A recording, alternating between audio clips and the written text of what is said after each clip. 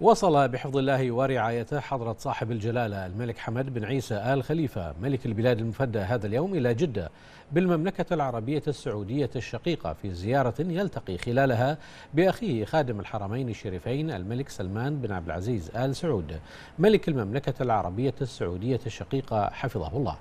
حيث يجري جلالته مباحثات مع خادم الحرمين الشريفين تتناول العلاقات الأخوية التاريخية الوطيدة والمتميزة إضافة إلى مستجدات الأحداث الإقليمية والدولية والقضايا موضع الاهتمام المشترك.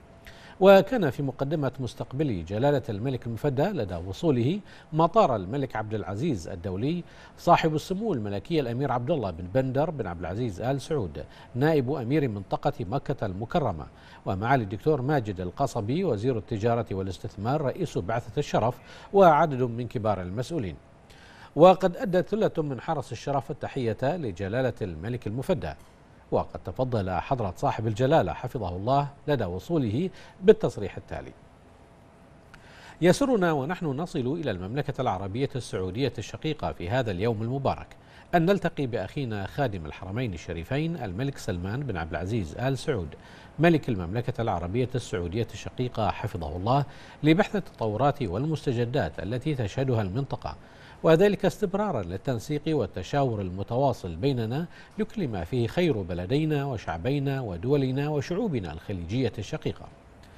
كما يسعدنا أن نعرب عن عميق اعتزازنا بالعلاقات الأخوية التاريخية الوثيقة التي أرستها ورسختها وشائج القربة القوية وروابط الإخاء والمحبة بين قيادتي وشعبي البلدين والممتدة إلى جذور التاريخ العريق لبلدينا وتعززها الثوابت والرؤى المشتركة التي تزيد هذه العلاقات صلابة على مر الأيام وتمضي بها على الدوام إلى أفق أرحب على المستويات. كافة.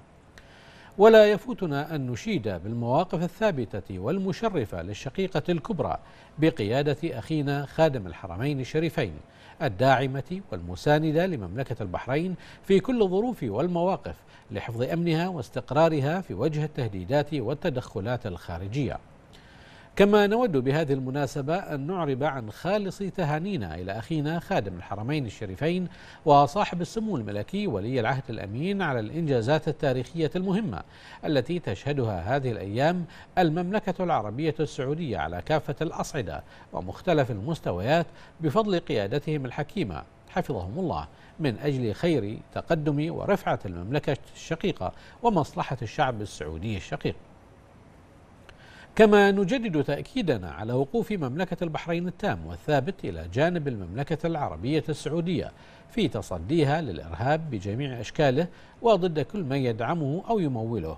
وفي جهودها المباركة والرائدة بقيادة أخينا خادم الحرمين الشريفين الملك سلمان بن عبد العزيز آل سعود حفظه الله لتعزيز اللحمة ووحدة الصف لمواجهة كافة التحديات. التي قد تهدد أمن منطقتنا أو تنال من مقدرات أمتينا العربية والإسلامية بما يحفظ أمن واستقرار دولنا وتمكينها من تجاوز هذه المرحلة الدقيقة من تاريخها وتحقيق المزيد من التقدم والرخاء. ختاما ندعو المولى العلي القدير أن يحفظ خادم الحرمين الشريفين وولي عهده الأمين والأسرة المالكة الكريمة ويسبغ عليهم موفور الصحة والعافية وطول العمر ويديم على المملكة العربية السعودية وشعبها الشقيق الأمن والأمان والرخاء والازدهار في ظل قيادة خادم الحرمين الشريفين حفظه الله. هذا وكان جلالة الملك المفدى قد غادر أرض الوطن بحفظ الله ورعايته في وقت سابق من اليوم متوجها إلى المملكة العربية السعودية الشقيقة رافقت جلالة الملك المفدى السلامة في الحل والترحال.